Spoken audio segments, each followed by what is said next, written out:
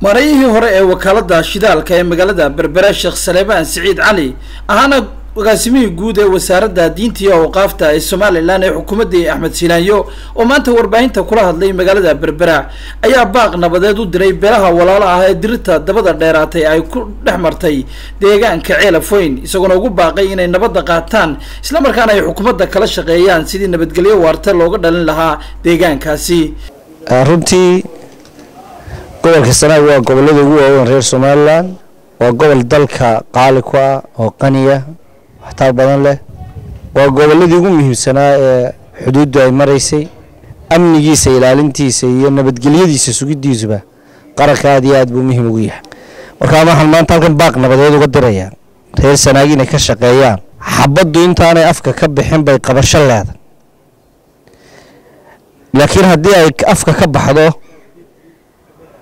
waxaa imanaysaa dad baa dhimanaya arrinkiiyo jawi waa isbedelayaa aarsi baa imanaya tiiqtiiqsi baa imanaya wax intii hore ka fog baa imanaya sidoo kale waxa uu ka hadlayay sheekh salebaan siciid cali dagaalkii maanta ku dhex maray deegaanka buurta tabca ciidanka qaranka somalilan iyo jabhadda uu hogaamiyo corneyl care isagoona xukuumadda ugu baaqay inay gacan adag oo dowladnimo ah kaga qabato xaaladaha dagaalka ee la xidhiidha jabhadda corneyl care markaa arrinka dagaalkaasaa ka dhacay runtii aad iyo aad buu khatar badan yahay. Qarannimadeennu saameyn badan ku leeyey diinteennu saameyn badan ku leeyey dalku saameyn badan ku leeyey marka waxaa muhiima reer sanaag dadka ahlulxalliga ah ee waaweyn inay si daacadnimo le uga shaqeeyaan. Dagaalku hadduu xabaddu afka ka baxdo ma noqonayo goolaaftan iyo ma noqonayo ciidan baa ciidan gale dhimashaa imanayso dhaawac baa imanayo xanaf baa imanaysa oo intii hore ka fogaanaysaa amniga soo kaabistiisu. Dadku niyad fiican bay ku heleen. Madaxweyneha hadalkiisi uu yidhi iga galaan ku dhammaynaya arrinka sanaag.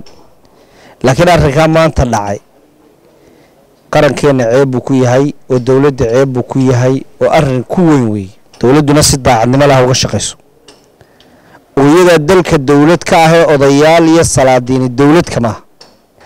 Madaxweynuhu dowladdiisu gacan adag baa looga baahan amniga inay ku qabato. Amniga inay ku qabato madaxweyne adigaa gacan adag lagaaga baahanya. Ninnaba dalku mas'uul kama aha adaa ka mas'uula. Xisbina kama mas'uula cid kalena kama mas'uula.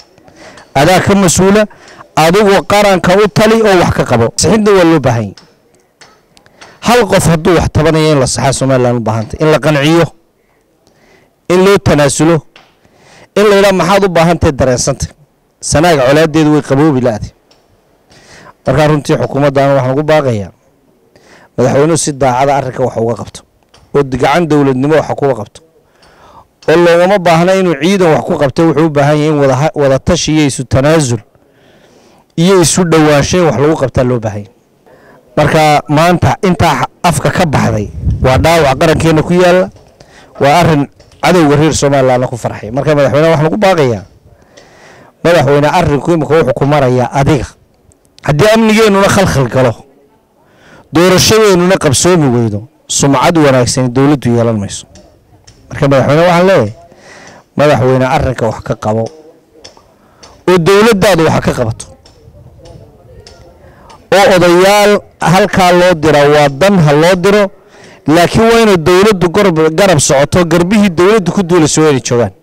Intaasoo dhan baa imika halkaa wax ka socdeenoo waxay ahayd inay wasaaradda daakhiligu ay xarunteeduba sanaag noqotay wasaaradda daakhiligu mar walba xarunteedu waa inay noqoto halka wax ka dhacayaan laakiin wasaaradda daakhiligu inay hargeysa fadhida maaha. Ceeb bay tahay madaxweynuhu ma tegayo sanaag laakiin waxaa sanaag tegaya wasaaradda daakhiliga ka shaqaynaysa. Markaa runtii isu dhowaanshaha iyo dhex fadhiisiga iyo katashiga iyo shaqaynta iyo amniga qabashadiisa iyo hanti wixii loo baahanya hawl wixii loo baahay ku qabashadeedaba waxaa le wasaaradda daakhiliga arrinkaa eegashadiisu aad iyo aad buu foolxunyay tii ceelaf weyn baan inaga dhammaan. Mid kale haddana hadday nagu bilaabanto ceeb weyn bay qarankeenna ku tahay waxaanad ogaataan inay balaayadu soo durkayso. Dadka halkaa isku leynaya gobolladoo dhan bay wada degayin maxamed cabdilaahi soo fadhiistay star t v magaalada berbera